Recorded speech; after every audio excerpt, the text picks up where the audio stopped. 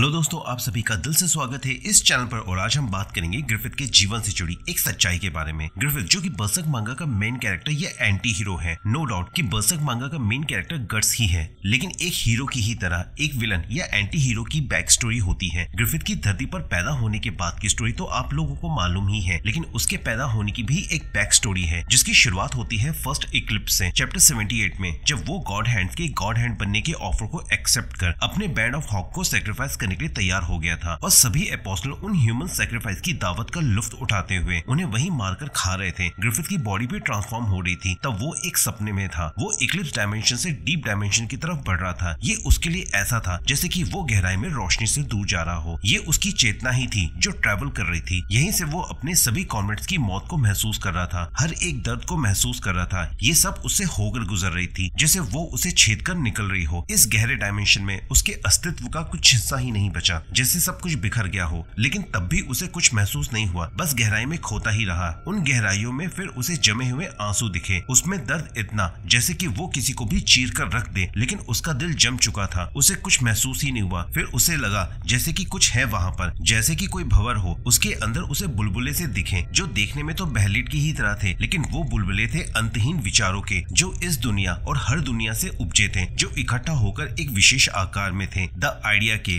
Griffith को लगा कि ये भगवान है। इसी जगह पर ग्रिफिथ की चेतना फिर से आकार लेने लगी। द आइडिया ने भी वहाँ आने के लिए उसका स्वागत ही किया और खुद का नाम द आइडिया बताया। ग्रिफिथ को कोई आइडिया नहीं था कि वो क्या है। क्या वो आइडिया ऑफ़ एविल है या फिर डिजायर्ड गॉड? क्या ये बड़ा सा मांस का टुकड़ा जो दिल जैसा दिख रहा है? भगवान भी हो सकता है। द आइडिया ने बताया कि ये उनका कोर है, उनके आसपास जो बड़ा भवर है। यही सब कुछ है। ये एहसासों का सागर है, जो इंसान की आत्मा की गहराई में बसती है। एक सामान्य चेतना जो सब में बसती है। ये संपूर्ण इंसानियत की सोच है, जो यहाँ इकट्ठा है। ये सागर ही उनके मन में दबी बुराइयों से बना है। द आइडिया का जन्म भी उन्हीं विचारों से हुआ। इस दुनिया का व्यक्तित्व के तौर पर वो खुद ही ये दुनिया है। वो अंधेरा भी है, जो हर इंसान के भीतर बसती है। वो आइडिया ऑफ़ एविल भी है और वो भगवान भी है। ग्रिफिथ को अब समझ आता है की वो क्या है, जिसका मतलब साफ़ है की द आइडिया को इंसानों ने ही बनाया है। ये मनुष्यों की ही इच्छा थी, जो खौफनाक मंजर वो देख रहा है। क्या ये नर्क है? द आइडिया बताते हैं की लोग इसे नर्क भी कह सकते हैं, लेकिन ये तो संपूर्ण चेतना के कई परतों का सिर्फ़ ऊपरी परत ही है और ये जगह उतनी ही इंसानी भी है। हिंसा, अकेलापन, ये जगह सभी नेगेटिव सोच से भरी पड़ी है। ये जगह इंसानी सोच को ही दर्शाती है। ग्रिफिथ को भी यकीन हो गया कि वो सही कह रहे हैं। वो भी महसूस कर सकता है, लेकिन अभी तक उसे ये समझ में नहीं आया कि द आइडिया पैदा ही क्यों हुए। आखिर इंसान ऐसी इच्छा को पैदा ही क्यों करेगा, जिसे वो भगवान कह सकता है? इसका कारण भी खुद इंसान ही है। वो हर चीज़ की वजह ढूंढता है, चाहे वो दर्द का हो या उदासी का, या अपने ही जीवन का, या मृत्यु का। आखिर उसकी ज़िंदगी में दुख तकलीफ़ क्यों है? मौत बुरी क्यों है? वो हर चीज़ की वजह जानना चाहता है, जो उसकी सोच के भी परे है और यही उनके बनने का कारण है। यही द आइडिया करते हैं। वो डेस्टिनी या नियति बनाते हैं। उन्हें इसी के लिए बनाया गया है। वही डेस्टिनी को कंट्रोल करते हैं। वो मनुष्यों की इच्छा को पूरा करते हुए सबकी डेस्टिनी लिखते हैं, जिसका मतलब साफ़ है कि उन्होंने ग्रिफिथ की डेस्टिनी भी लिखी होगी। उन्होंने ही उसके जीवन का सब कुछ अब तक लिखते आए हैं, जो आइडिया भी कंफर्म करते हैं। ग्रिफिथ के पैदा होने से बहुत पहले ही उसे प्लान कर लिया गया था। उन्होंने ही